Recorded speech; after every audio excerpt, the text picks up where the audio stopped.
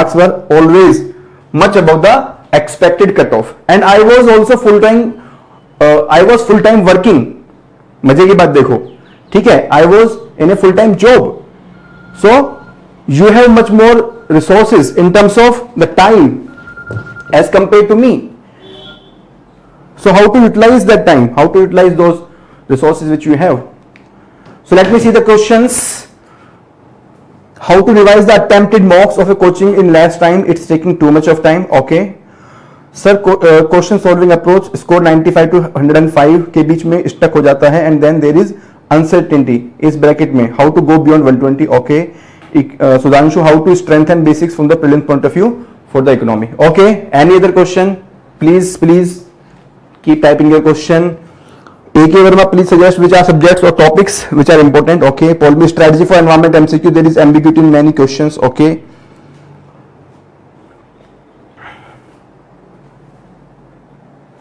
okay ठीक है wonderful आप टाइप करते रहिए I will keep looking in between strategy for current affairs okay how to revise current affairs okay good sure I will to I will cover that how to cover science and technology okay wonderful ठीक है okay so now we have something to start with ठीक है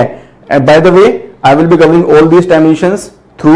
this session and you you are most welcome to type your question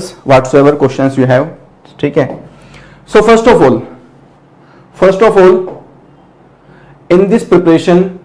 single strategy can not work for everyone ठीक है single स्ट्रैटी है किसी के लिए काम नहीं कर सकती if we have to reach from Delhi to Mumbai we have multiple paths we can go by air railway car taxi we can go on foot matlab hum paidal bhi ja sakte hain jaise ki migrant sab migrant crisis mein hua tha we we can have multiple ways right and even using the same mode we can have different path theek hai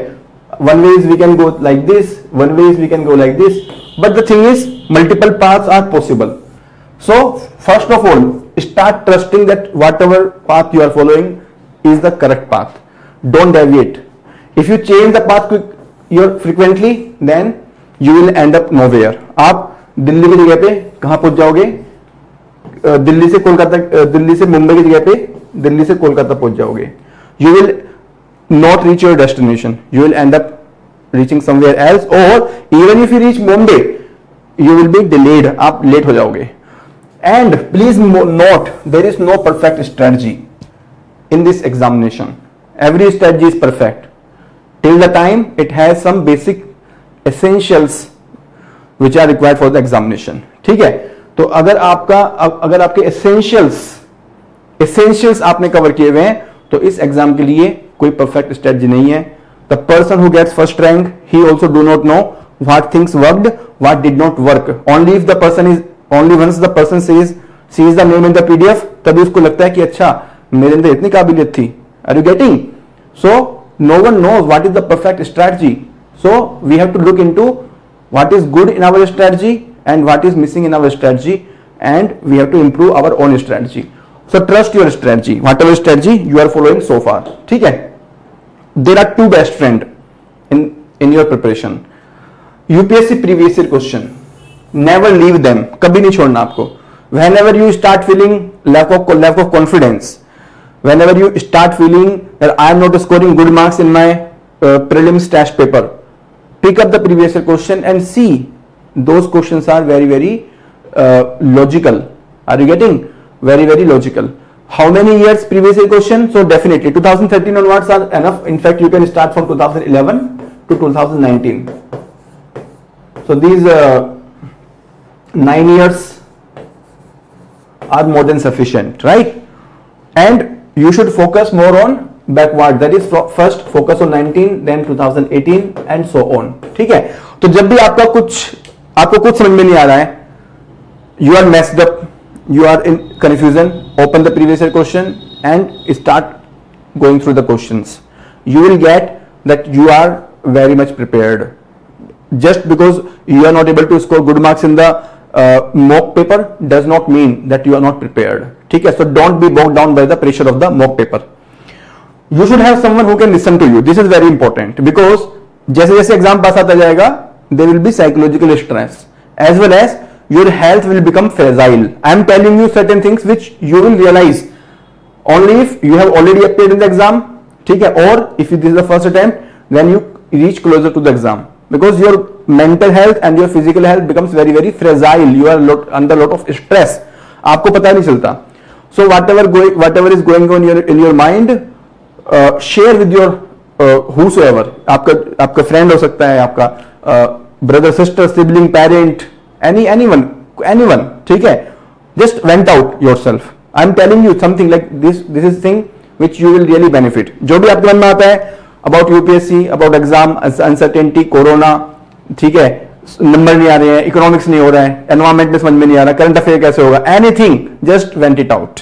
so that you can be free and you can focus on the preparation ठीक है चलिए now there can be two type of people here one who are well prepare who are very much confident that prelims is not a big thing and they are also getting good scores what should be your strategy very simple your strategy is very simple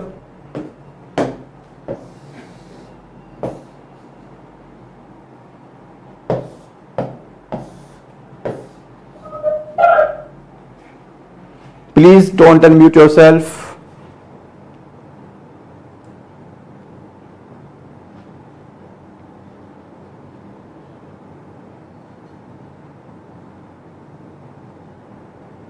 yeah So those who are well prepared and having good scores for the prelims, they should focus on the weak areas. Sorry, they should focus on the weak areas and they should practice two test in a week. One week mein two test practice karne hain of GS plus one test of CSET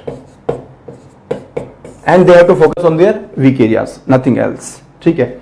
they should also continue their mains preparation especially gs to gs3 because somehow it will help them out in the uh, prelims also the topics are overlapping so in the gs paper to gs3 you can really focus and in gs to gs3 you can spend th 3 to 4 hours if you are attending some class well and good otherwise you can revise from the core area or maybe you can practice maybe uh, like two questions in a day ठीक है answer writing two questions you can do not an issue till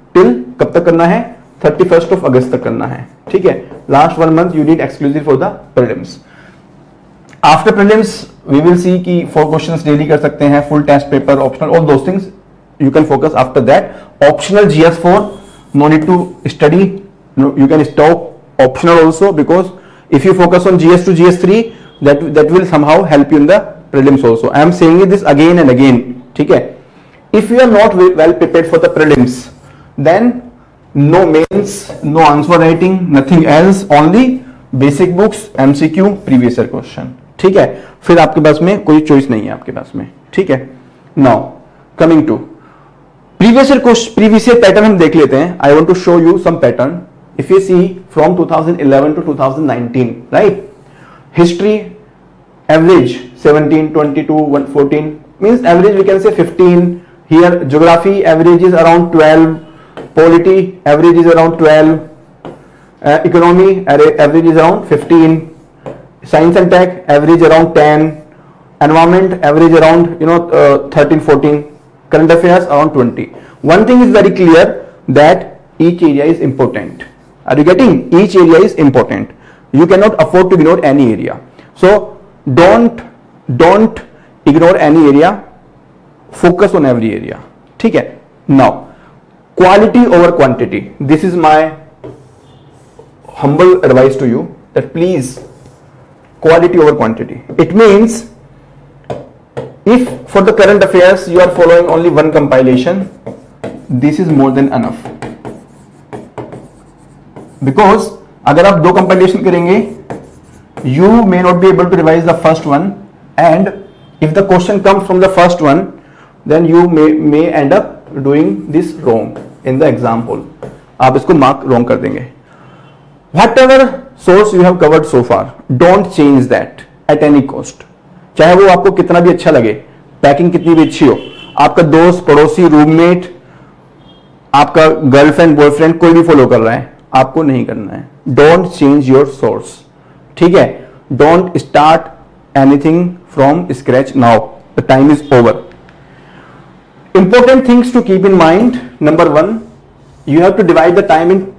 2 is to 1 ठीक है so there is a big question from most of the people sir how much time to spend in the revision and how much time to spend in the mcq ठीक है my suggestion is have a balance दोनों में balance रखना है आपको ठीक है so so, balance का मतलब क्या हो गया balance means that you have to spend two part in the revision that means if you are reading if you are spending 12 hours 8 hours for the revision and 4 hours for the mcq ठीक है अब now how to do the revision how to do the MCQ I will deal in the next slide Saturday dedicated only for the revision this can be any day means have one day which is only for revision nothing else और you can say जो भी आपके weak areas हैं या जो आपका backlog हो गया है यू हैव बैकलॉग राइट देखेंगे मल्टीपल थिंग आपने कुछ प्लान किया लेकिन नहीं हो पाया राइट एंड मेनी टाइम क्या होता है कि हमें किसी सब्जेक्ट का फोबिया हो जाता है for example in my case I always I am a chartered accountant and I will always have the phobia of geography right so whenever I will start having the pressure कि यार geography में कुछ याद नहीं आ रहा है I will open the book and I will study in the one day of the week that will give me lot of confidence see it is not only कि आप क्या आपको याद रह पाता है it is also about what is your state of mind आपका confidence बना रहे ये बहुत जरूरी है ठीक है Sunday you should have at least second half break means I am suggesting Sunday because most of the time our family member friends they are available half day no work no study भूल जाओ कि आप exam की तैयारी कर रहे हो this is important to unwind yourself but it should be half day only six hours seven hours जो भी है स्पेंड ऑन योर हॉबी अगर आपको कुछ भी नहीं मन कर रहा है तो यू कैन स्लीप ठीक है मूवी देखो कार्टून देखो कुछ भी देखो लेकिन एंजॉय करो this is important now this is very important make a register revision register बहुत बनाना बहुत जरूरी है बिकॉज जब जैसे जैसे हम लोग we are covering more number of sources we will keep across we will keep coming across about certain facts which we think that या this is important but I may not be able to remember in the exam whole ठीक है may be this is the last time I am studying this compilation this booklet so I should have this fact in my revision register ठीक है सो revision register में आप अलग से note कर लीजिए उसको ठीक है फैक्ट को it can be about current affair history economy geography environment anything just note it down separately so that before the exam in the last seven to eight days of the exam you are able to go through that ठीक है so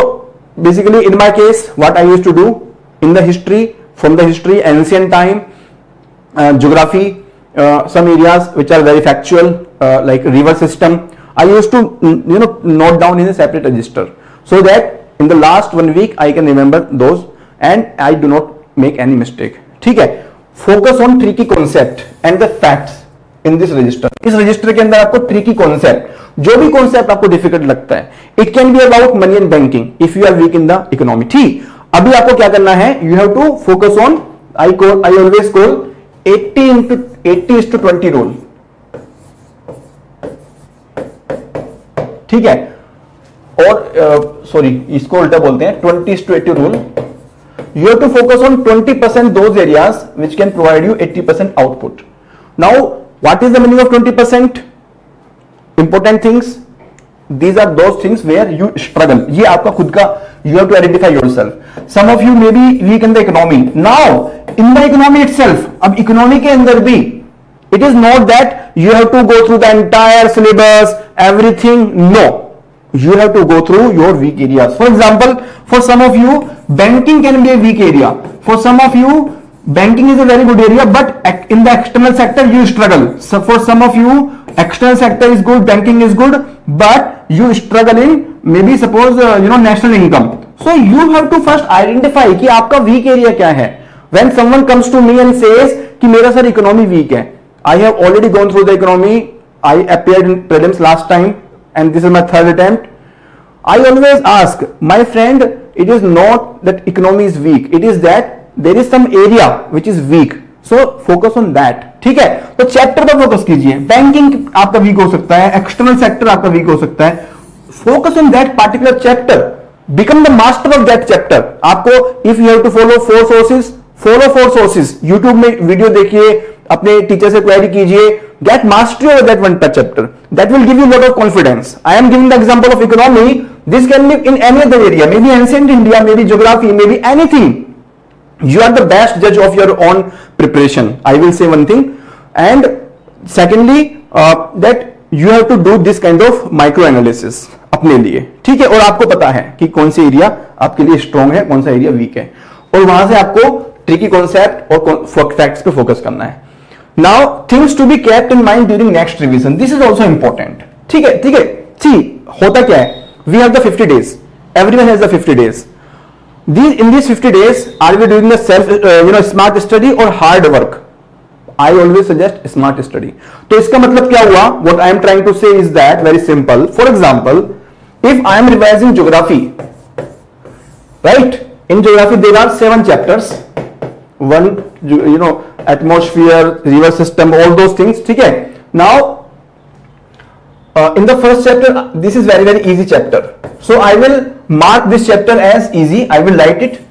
so that in the next revision i don't have to even read this chapter ये पढ़ना ही नहीं है ये second revision in, in the second chapter this is a you know, difficult chapter so i will mark and i will write how much time i will spend in the next revision please note it down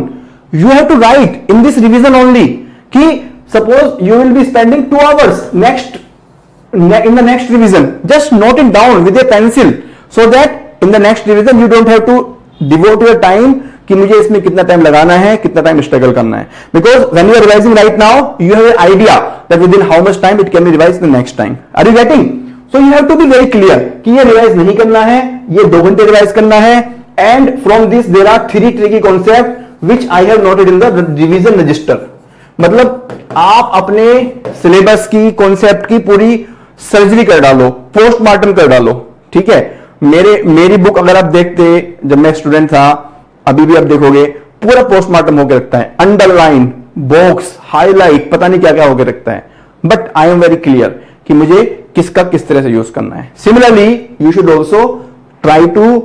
identify classify areas into a category b category c category a category means very very important and which you feel difficult जो आपके लिए difficult है b category which are important but are moderate for you ठीक है and c category which are the not important और even if they are important but they are easy वो easy है so you should focus on the a category first ठीक है ए category में focus कीजिए in every don't go with the subject wise please understand don't go with the subject wise go with the importance of topic if if there are suppose seven subjects Don't think uh, first let me complete economy, first let me complete geography. No, don't think like that. Just rather instead of this, think that let me complete a category topic of economy, let me complete a category topic of geography, then history, let me complete a category topic of history, because in this manner you will be able to focus on the 20% topic which are having the 80% importance and which will give you lot of confidence also. Are you getting मतलब आपको syllabus को topic में divide करना है don't divide to the subject because in the examination they are not going to ask you topic wise you know they are not going to qualify you based on the topic wise cut off ठीक है तो if there are suppose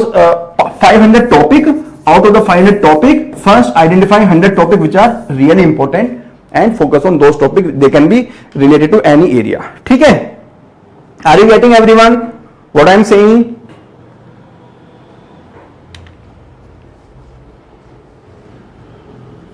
great now अभी हम बात करते हैं next that is solving the MCQ ठीक है एमसीक्यू सोल्व कैसे करना है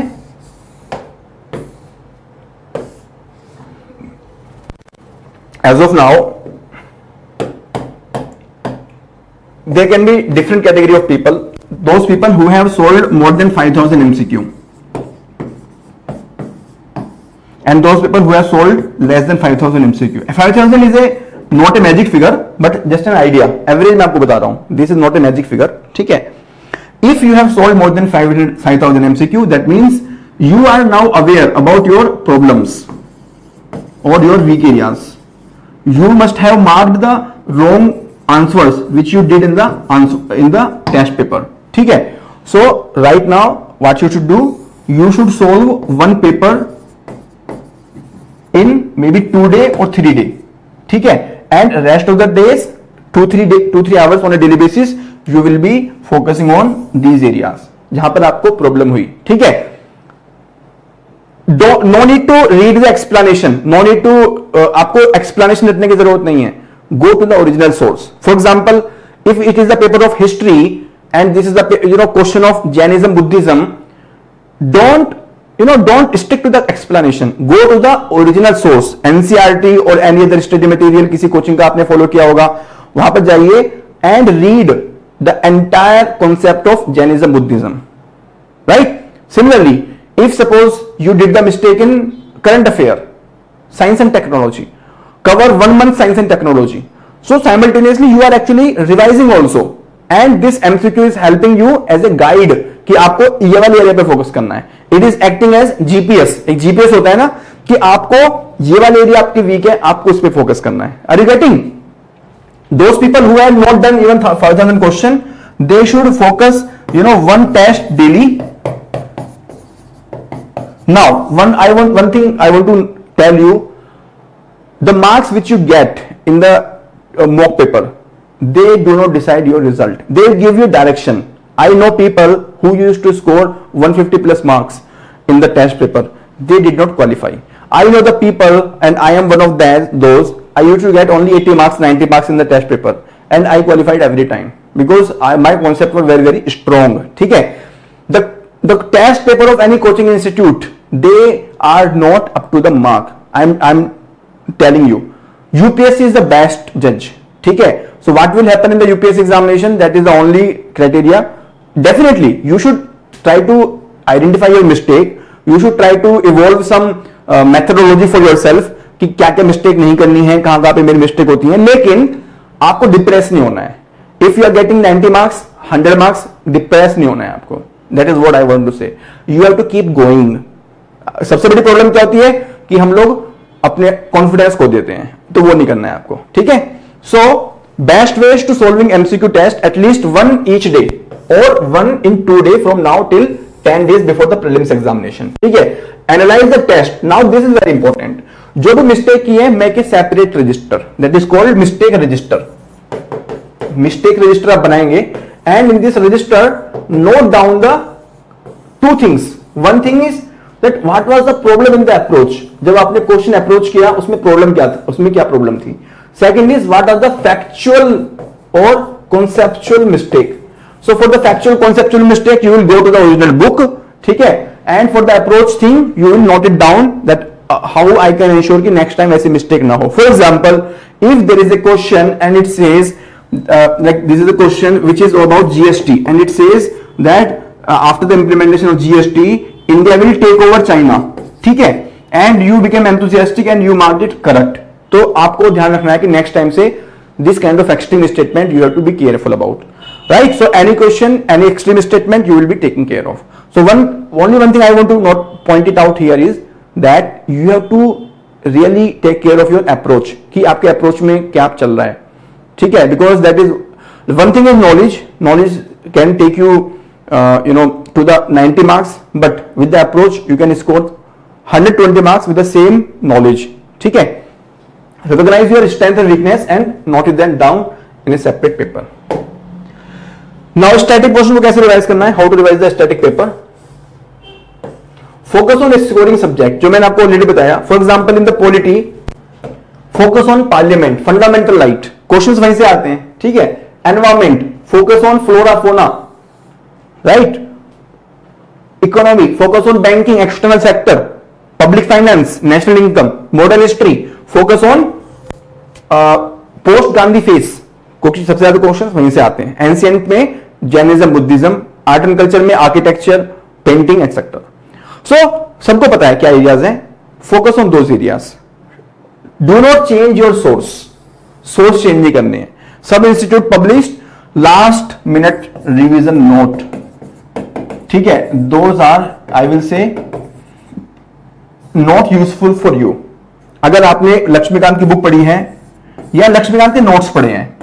अपने हाथ से if you you know have your own hand written notes और या आपने कहीं से खरीदे हैं उसको then you can read those means Laxmikant के ही इर्द गिर्द घूम रहे हो आप either you are reading the book और notes of Laxmikant if some institute gives the last minute note of the polity don't buy that because हमारे एक फोटो में एक फोटो फोटोग्राफिक मेमोरी होता है ठीक है let me share suppose this is the book of Laxmikant right तो ये लक्ष्मीकांत की ही बुक है ठीक है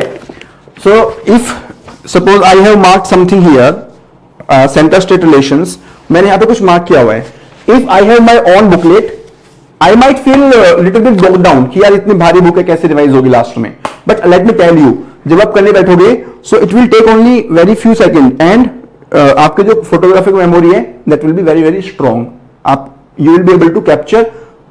the same thing in a very easy way and in the exam hall you, you will be able to revise. Now the same thing it has been mentioned in some revisionary note they will change the language they will modify the language and somehow your memory will get confused क्योंकि आपकी जो memory होती है ना your mind your if if there are some like neurologist अगर class में है इसमें so they will you know uh, agree with me that our brain learns in it does not learn otherwise या तो pattern में learn करता है या फोटोग्राफिक मेमोरी में लर्न करता है if you revise same thing again and again again and again again and again in the exam hall the same page will appear in front of you so you will have more clarity that whether option is right or wrong rather than changing the source ठीक है so don't change the source focus on revising your core sources जो भी आपके core sources हैं don't don't you know reject your notes trust yourself I will say only one thing don't reject your notes आपने हाथ से लिखे हुए हैं किसी इंस्टीट्यूट के नोट फॉलो किए हैं कोई बुक फॉलो की है trust it it will be working if there is some you know missing part कुछ वीकनेस है you can cover that from a different book only relevant portion otherwise no need to replace the entire book ठीक है current affairs कैसे करना है this is very big question so current affairs के लिए दो चीजें होती हैं how to cover basically there are two strategies there you can cover through three things basically एक तो है कि पीरियड कौन सा कवर करना है what is the period because the examination is now postpone to the October first week so period will be from June 19 to October 20 right this is the period means even last even you know last four month you have to focus we do not know whether they will ask not but we can not say that they will not ask ठीक है way not we can not take a risk some people are saying कि sir exam exam paper was already setup before the exam was postponed ठीक है but who knows they will change the paper they will make a new paper right so you can not take a risk the current affairs from January twenty to July twenty